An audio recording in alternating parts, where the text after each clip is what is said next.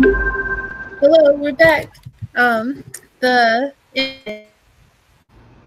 so we had to start another call, but um, hopefully, a lot of what Terrel was saying at the end there was caught. Um, we were talking about protecting dreams, and I think that's where it froze. Um, well, from what you were talking, from what I heard, I heard a good chunk of it.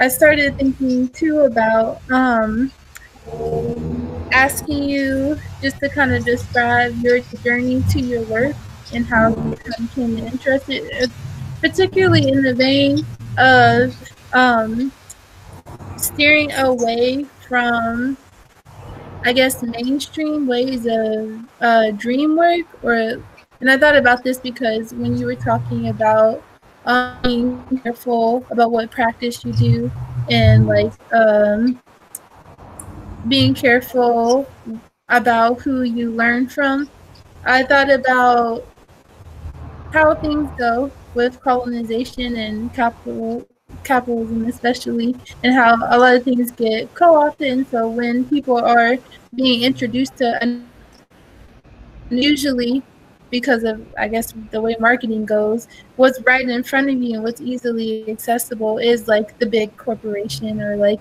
the big wellness center, you know, for um like the roots. So just curious about your journey and if you had any particular um like message about making sure that people find the source that will be most beneficial to them.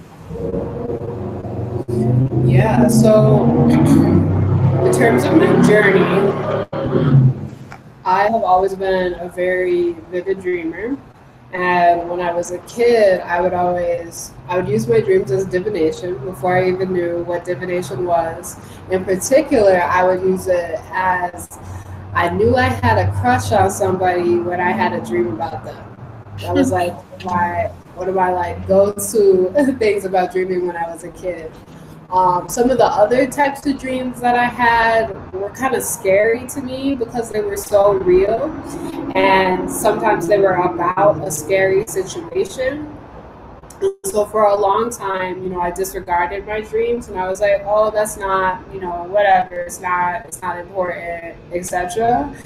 And it wasn't until I had had like a, a very like a, a very intense series of unfortunate events and I was dealing with PTSD symptoms and that was when I was like okay I can't I can't ignore these dreams anymore. I really have to figure out a way to get a better handle on them because at this point these dreams are preventing me from sleeping through the night and so um, at that time, I had decided, um, so I needed a rest from all the stuff that was going on in my life. So I had decided to accept my partner's offer to come to California and like spend some time in the desert with him and his family. Um, and so I did. I didn't necessarily know where to start. That was what year was that? That was like that was 2017. So Tricia of the Nap Ministry had, you know, was out there, was starting to do her work. So that was like kind of where I started um, with like going through some of the research materials that she had shared, listening to different interviews that um, she had done that explained some of her journey. So I guess like that was the first step. You know, I went to somebody who was black. You know, I went to somebody who was from where my dad is from. She's from Chicago. My dad is from Chicago too. So I like I felt a call toward her work because of the affinities that we shared and the location space that we shared. Um, and as I started, you know, looking into her work and like reading um, the book by Matthew Walker, who really talks about like the science behind how sleeping helps folks heal from the impacts of trauma and know it's so necessary for us to be to be sleeping, to get, be getting at least eight hours, etc.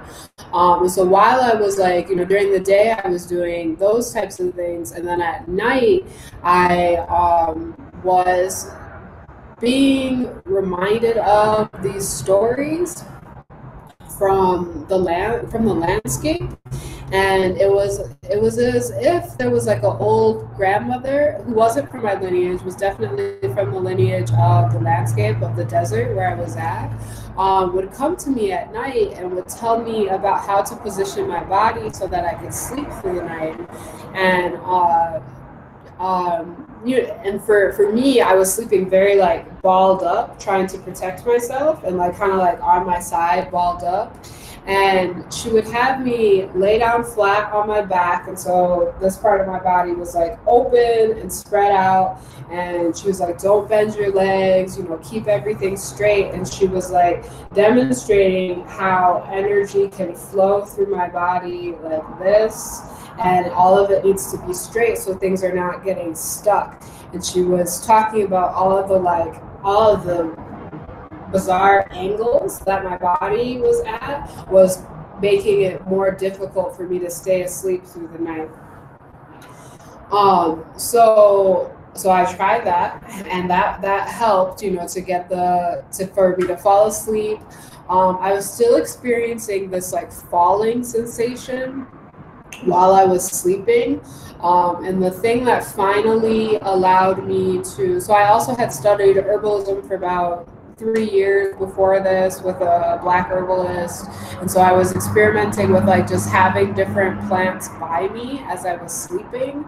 Um, so the the mixture of plants that ended up working for me was uh, a cannabis oil with a lemon balm oil with a, a citrine crystal sitting on top of it, and then I had that plate um, like above my head while I was sleeping, and that that's what like that really moved the nightmares away. Um, and in in that process, I was also you know cleaning the room and you know turning the TV off earlier and all of those types of things. Um, and I hadn't been sleeping you know for months. Um, and for me to have just spent like you know deciding that I wanted to like you know get a handle on these dreams, um, you know, figure out how I could be able to sleep because I was waking up like screaming, like it was like not pleasant at all.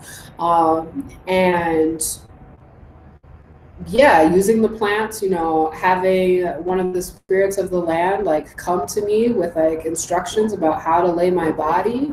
And then from there, it made me realize that in some of the classes where I was teaching about herbs, but we weren't ingesting any herbs, we were just having the herbs by us, was also the beginning of how I was teaching people about dreams and teach and thinking about dreams as if I'm a farmer. A dream is something to plant. A dream is something to nourish. A dream is something that has a seed, you know, that can become a tree, etc., etc. Um, and you know, combi- combining all of the, the research that I had done, and I also started making songs. Like I said, I make lullabies.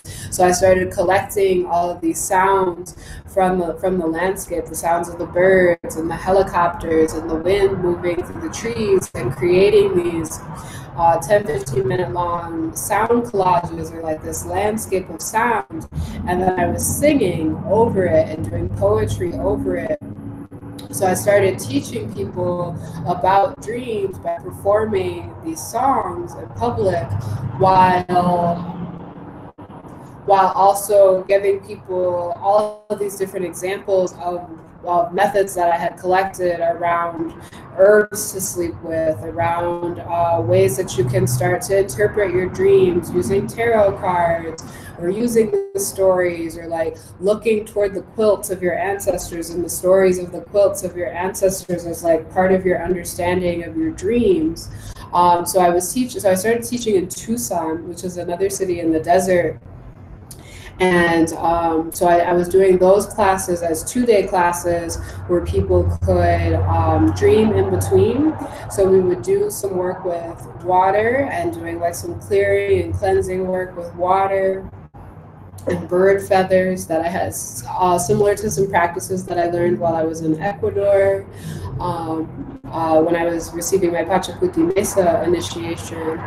Um, and then, you know, just sitting, you know, sitting in a circle um, with other black and brown folks, like you know, telling stories. Like I, I had an agenda and like an outline of the things that I was sharing, but I was also making uh, making a space for people to share their stories. So I would talk a lot the first day and then I would perform at night in between. And then on the second day, uh, was was for people to share stories. So I should share the story of what happened last night after they did the ritual. Share, um, you know, so people will bring in things like bring in a family quilt and talk about the story of the quilt.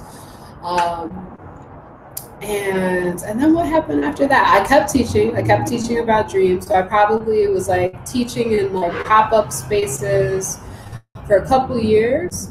And then I got connected to Jen the Rainmaker, who teaches the traditions of her lineage, which are Toltec Chichimeca dream traditions, and those traditions are generally or historically taught like over the course of 50 years and only taught to the to the warriors of of the community. And so as a larger there has been a larger prophecy around a period of time where the world would need their dream practices and so where they would be allowed to share the practices outside of um, outside of their you know outside of their family outside of their communities. And so jen is a, a wisdom keeper and a faith keeper of these traditions and is teaching them. Um, so i went this was last summer i went to study with jen in hawaii. And I was really looking for um, a a pathway to figure out how to really deeply learn um, the dream practices and traditions of my of my own lineage. And as I, I was doing that, I had already been collecting stories. So at some point, I needed to transition from the all of the in-person workshops into a, a remote way of working um, in terms of like sustainability. And I, I was experiencing some burnout. And it's so funny to be a rest worker or a dream worker and then not be getting enough rest um, while trying to tell other people about rest. Um, so I, I, had experienced burnout, and I was like, okay, I have to figure out a totally different way to do this because it's not sustainable for me to be, you know, bouncing around the country all the time, and it's a, it's a lot of energy to like be bringing these, you know, ancient traditions and explaining all of these things to small groups of people. Um, so I transitioned my whole business to be completely remote and to and I figured out how to teach people, you know, these traditions um, through through videos, through songs, through storytelling, through PDFs, etc. Um, so 2019, I was I spent a lot of last year, you know, setting up that infrastructure, and, and I'm now continuing to grow it this year. Um, but working with Jen last year was like very, very impactful to have someone who had, you know, was a little bit older than me and had already like spent all of this time really figuring out a way to, and, and her, her, her traditions are taught to her orally as well. She's not given protocols and PDFs and stuff like that. She had to do that work to um, translate it into a way that other people could learn it without necessarily the time it takes to like sit and listen to the stories. Um, so she's like such a valuable resource. You know, she's such a great teacher, and in the ways that she has, you know, really created these really beautiful frameworks for learning these these traditions. Um, so I could continue teaching after that, and you know, her and I had had some conversations about, okay, once you learn from someone else who has traditions that are different from yours, even if they may have parallels, how are you making sure that you're staying in good relationship and you know, sharing things that are yours to share um, because if one has like, you know, taken a couple of classes with someone, you don't necessarily know the ins and outs. You don't necessarily know like what protective methods like they're doing for the group. You don't know the you don't know the behind the scenes you don't know necessarily all of the stories about why they're doing things the way that they're doing. So we had some conversations about, you know, the types of information that it would be safe for me to share and the types of information for me to, you know, refer folks to Jen to study with her directly. Um, and like I said, uh, you know, my intentions with like studying with Jen was to really open up. I like, I went to Jen being like, I really want to know and understand African traditions around dreaming. Um, so, so, and essentially, with a lot of these traditions, uh, indigenous and African traditions, the first step in being able to teach is to do the self healing work, like within yourself first. And so a lot of Jen's traditions are about clearing out what's in the way for you to manifest what you need in your life and what you want in your life. So while you're sleeping, you are creating your your waking reality. So everyone you in her traditions and every everyone that you've ever met, you've dreamed them before. And so it's about clearing out the things that are you know, that our barbs, our, our snares, our traumas, etc., clearing those things out so that you have a more open path and a more open flow for the things that you're trying to like call to you. Mm-hmm. Um, and so for me, you know, that was really it was really about like a lot of the projects that I'm working on this year. You know, pulling together um, an anthology, pulling together some of these oral stories in a way that we have, you know, more of the word that is coming to my mouth is a Bible, a Bible of our our dreams and the ways, the many, many, many different ways that we have interacted with our dreams across time, um, and like as, as, a reference and a, as a, a tool of inspiration for people to um, start to value their dreams in a different way. Uh, especially because for those of us who have grown up in the United States and who have maybe grown up around uh, a dominant culture or have grown up around a lot of white people or a lot of Europeans, etc., um, where kind of a particular type of logic is what is privilege. You know, we may need to combat or move through uh, the ways that like believing in your dreams is a superstition or that's fake or whatever. Um, so to have you know a variety of folks who are from a lot of different professional backgrounds, um, you know, really speaking about the ways that they you know they have interacted with their dream medicine and that this this is something that they value and something that gives um, insight into the things that they're experiencing and gives insight into their creative projects and gives insight of how to you know make money uh, and to survive and navigate through the all these different landscapes that we have to navigate through. Um, yeah and so that's you know that's what i that's what i'm working on. And like also on, on a spiritual level you know i was doing a lot of clearing work in my own lineage and you know healing relationships with my family. For a while i was estranged from my family. I wasn't talking to any of them. Like now i talk to my parents like a few times a week. Um, that has been like one of the the biggest things. And you know when i was talking about the series of unfortunate events those were very like serious things. Domestic violence um, you know some things around addiction things like that. Like i have made very very serious and um, very beautiful progress in my own healing journey through paying attention to my dreams and making sure that I am getting enough rest to be able to dream and really setting up my life to be able to dream like you know switching from working jobs to working for myself so that I can set my own schedule, um, switching from reminding myself that it's important to me, like the aesthetics of my home is, is very important to me. Um, and so to, and then, and then also I also became initiated as a Sangoma, which is a South African traditional healer. Um, and that dreams are a huge part of that medicine. Dream interpretation is a huge part of that medicine.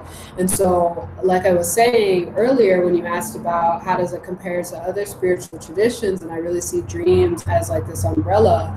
Um, for me, the Sangoma initiation was very much the umbrella for all of the other things that I had been studying for the for the herbalism, for the energy healing and the Reiki attunement and for the Pachakuti Mesa and for the conjure practices, for all of that, the Sangoma was very much the umbrella.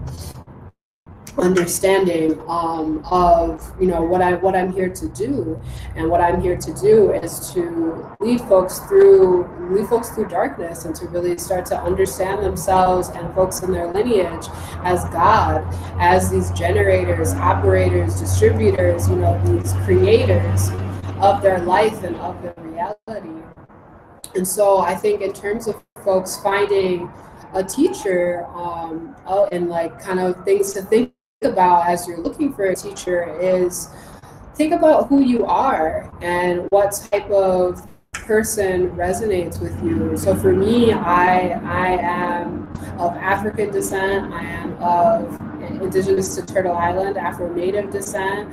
I'm queer. I'm trans. Um, and so those are the types of people who I'm looking for to teach me because I know that they have lived experience that overlaps with some of the experiences that I've had and to be a dream worker is very much a a dream worker or a dream warrior is very much a it's a very integrated experience. It's not something that you're only doing nine to five monday through friday. Even though i do have open hours and when i'm working um, i also am very much living this um, and to really learn these practices you have to live it. And so it's not really it's not something you probably shouldn't learn from somebody who has a hobby for them. Um, it should probably be someone who's like very immersed immersed in it and because because there's also so much to learn about it like our, our dream landscapes are so big and so varied and also very connected to history and all these things that have happened and very connected to plant medicines and ethnobotany and there it's, it's just such a huge possibility of, of information to comb through and sift through. So there's always so much to learn. Uh, so I'm always learning. I'm always taking more classes. I'm always figuring out more elders to study with. I'm always I'm always studying with my my spirits who I work with. And I'm and I'm always, you know, doing the documentation. Like every morning when I wake up, I'm writing down my dreams, and then I'm also like, you know, flipping back to see what I dreamed this week, what I dreamed this month. Um, sometimes I'll be going back six months and things like that. So yeah, I really, I'm really excited for more people to find their their dream teachers because it's such powerful and potent medicine and like really connects us to who we are. Yeah, it sounds yeah, it sounds well, well, I have like a feedback. um, Recording's so funny that like everything goes wrong. But I wonder, um, just we're almost at about an hour and I want to be like respectful of your time. I wonder with everything you said, um, if you could talk a little more about the blocks that people experience when and I guess this kind of wraps everything together you were talking about cleaning in the beginning and clearing and um, making sure that that foundation is there. And then you also talked about um, what you learned from Jen the Rainmaker and creating this path that um, doesn't have blocks in it. So um, I guess just like top three things. I had to make it like very like Daily Mail or like you know Bored Panda esque, but if you could just give me like three things that people usually say are like their biggest blocks, or maybe what your biggest blocks were. Like, what are the hard things to get rid of, just so people are aware of like this is going to be really tough if you're trying to, you know, tackle this thing. So I will say that in general, folks who are coming to me are experiencing some type of mental slash emotional distress. Uh, and that's really where my focus and expertise lies. So, top three things. Um, maybe nightmares would be a thing, you know, some type of really scary dream, you know, a recurring dream of an ex, things that people would consider nightmares not remembering people, not remembering dreams at all, and just feeling like blocked and blank or disassociative. Uh, and then number three would be like a deep desire to understand uh, the ancestral messages in such a way that the desire has become a desperation. And so, kind of like blocking oneself by being so like, I want to know, I want to know, I want to know, and like not being able to relax um, to be able to see what's already there. Thank you. And then, as I guess to um, as a solution to that, would you recommend that at that point, because those are three big things that you hear often. At that point, people go and look for a dream worker, or um, again, start with that clearing and cleansing. We already talked about the first step, but is, yeah, with those things in mind, if you're struggling with that, is the solution to go to a dream worker? Because it doesn't sound like work you can really do individually, like alone. Right, right. Yeah, and like like I said before, you know, dreams are generally shared with family. So you have like all of these people around you to help work through it. And I generally also teach in cohorts. So there is like a group of people for folks to talk to.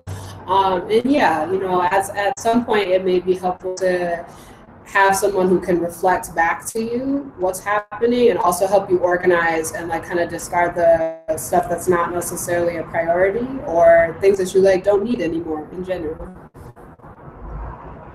Thank you. Um, any last like people should know this um, before we end? Yeah, dream working is really fun. Like there's a lot to be aware of and be protective of and stuff, but it's also like really fun and this very like sexy, powerful, childlike, kindergartner, imaginative way. Like dream working is so fun and I'm so I feel so blessed to be able to offer this medicine to others. No, that's awesome. Yeah, it does sound like fun. It also sounds like scary and exciting and just like something um, life giving, which we need more of because our lives get taken away. Yeah. Um, thank you so much. This is great. I learned a lot. I hope other people learned something. Um, I think when it comes to this particular kind of work, like you said before, spending with family and just being able to have a safe spot or a safe brain to uh, lay some of your ideas seems like um, most important. So, um, thank you for your work and being a kind of person that people can come to to do that. Really appreciate it um, for the world at large. um, so, we're going to end with our outro lullaby. And this is probably part two. I don't know how Google Meet does it, but yeah, this might be part two that anybody is watching. Thank you for joining.